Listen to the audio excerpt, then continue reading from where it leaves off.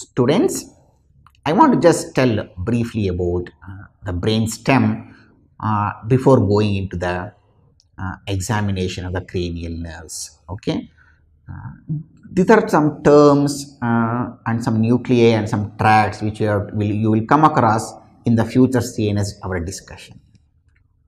Even this tectum, tegmentum and base, these words you will be reading from anatomy chaurasia, but you will be little get confused what are these terms. So I want to just make it a little simple. What are this tectum, tegmentum and base means?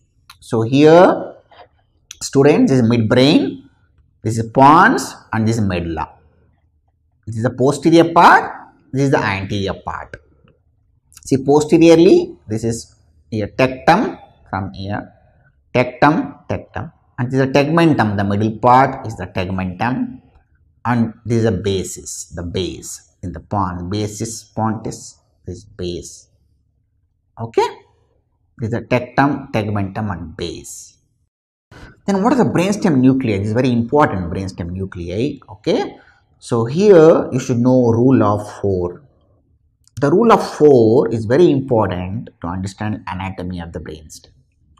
The four nuclei brainstem nuclei are above the level of pons four nuclei within the pons and four cranial nuclei below the pons. Which are the four cranial nuclei above the level of pons? The first nerve olfactory, second optic nerve, the third and fourth oculomotor and trochlear are above the level of pons. The four nuclei, other four nuclei, the next were four, the fifth, sixth abducent, fifth is trigeminal, seventh is facial, eighth is vestibulocochlear. These four nuclei are in the pons. The next four nuclei, the ninth, tenth, eleventh, and twelfth, glossopharyngeal, vagus, accessory, and hypoglossal. These are in the medulla. Just I want to show the anatomy of the brainstem nuclei.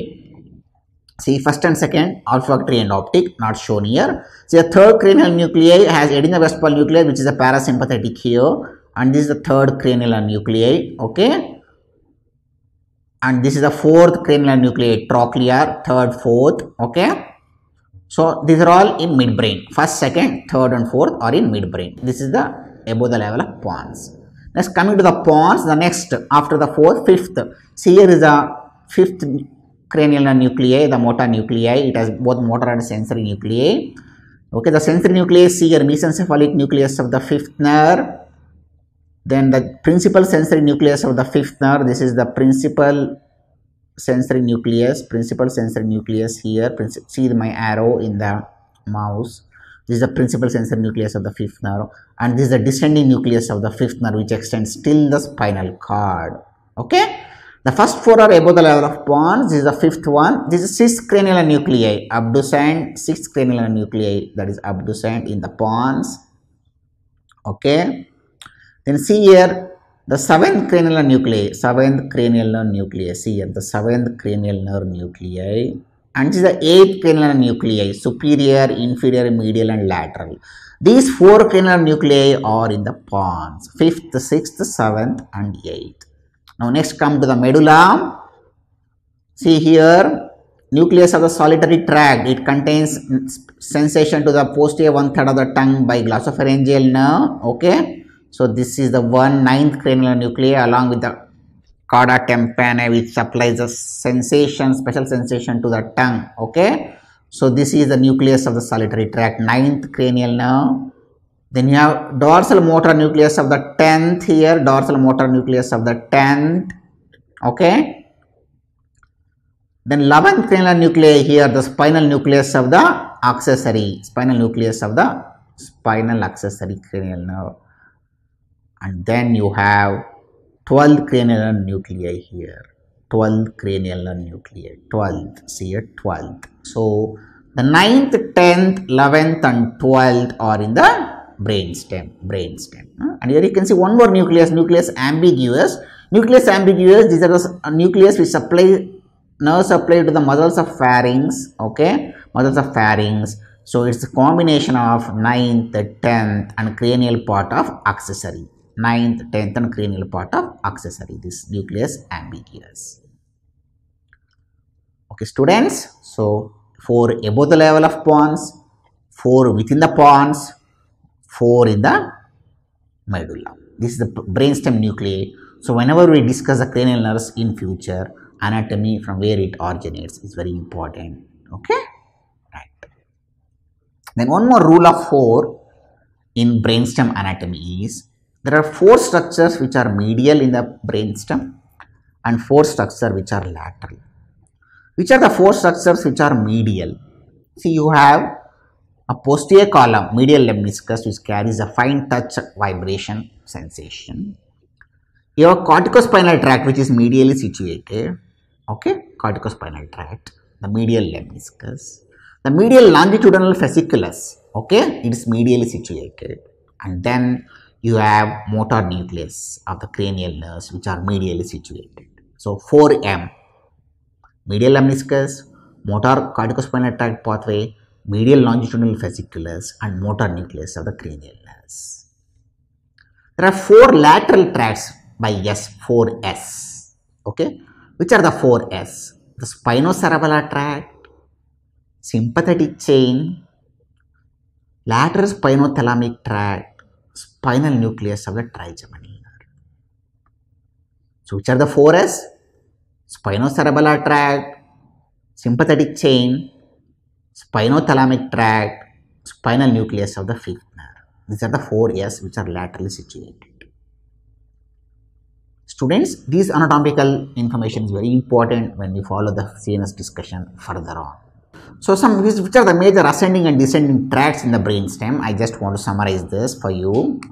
So, here students you can see uh, this is a spinothalamic tract. Usually, it synapse here. Dorsal, dorsal ganglia will carry the impulse. It will synapse here and then it will cross to the opposite side and then will ascend as lateral spinothalamic tract here. You can see lateral spinothalamic tract and then it synapse in the thalamus. Okay, this lateral spinothalamic tract, students. Then this is the posterior column, posterior column, nucleus gracilis and cuneatus, here, cross to the opposite side in the medulla. Okay, then medial lemniscus, it ascends as a medial lemniscus here, and then it go and synapse in the thalamus. Okay.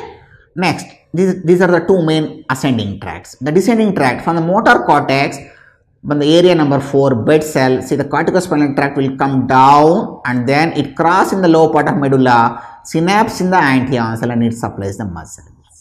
From the motor cortex, there are other fibers also apart from corticospinal tract which will come and decussate and will and will innervate the opposite cranial nuclei. See 1, 2, 3, 4, all the cranial nuclei has connection from the opposite side of the motor, motor cortex is corticobulbar tract. Corticobulbar tract. And you have cranial nerve 6 nucleus and it has a connection with the opposite. Is the connection with the opposite third nerve nucleus that is MLF. So medial longitudinal fasciculus connects the third cranial nerve nuclei of one side with the cranial nerve nucleus of the sixth side of the opposite side that is MLF, medial longitudinal fasciculus. Then lastly, our red nucleus supplies the fibers to the spinal cord that is rubrospinal. So rubrospinal tract, rubrospinal tract. And then red nucleus has connection to the inferior olivary nucleus, central tegmental tract, central tegment, tegmental tract. So spinothalamic and medial lemniscus are the ascending tract, corticospinal tract and corticobulbar tract are the descending tract, MLF connects sixth nucleus to the third nucleus for the opposite side. There are corticobulbar tract which connects to the cranial nuclei in the brain stem and medial longitudinal fasciculus which connect the sixth cranial nuclei on one side with the third cranial nuclei on the other side. So students, remember these tracks throughout your discussion of the CNS in future. Then one more interesting thing, whenever there is um, a lesion in the foramen magnum or the medulla, there is something called as a cruciate paralysis. What is this cruciate paralysis? See here in the low part of the medulla, these are the arm fibers, they decussate at a higher level to the opposite side, corticospinal tract. They are decussating at a higher level here. Okay. But the leg fibers you see, they are decussating at a lower level. The leg fibers are decussating at a lower level. So suppose if there is a lesion occurs here, at this point, the arm fibers are already decussated. So ipsilateral arm weakness will be there. whereas the these leg fibers will cross later. So contralateral leg weakness will be there. So a lesion here will produce ipsilateral arm weakness and contralateral leg weakness. Contralateral leg weakness. This is known as cruciate paralysis or hemiplegia alternans or crossed hemiplegia. This you get in foramen magnum lesions either due to compression or due to a multiple sclerotic plaque demyelinating plaque okay this is about briefly about brainstem before discussing about the examination of cranial nerves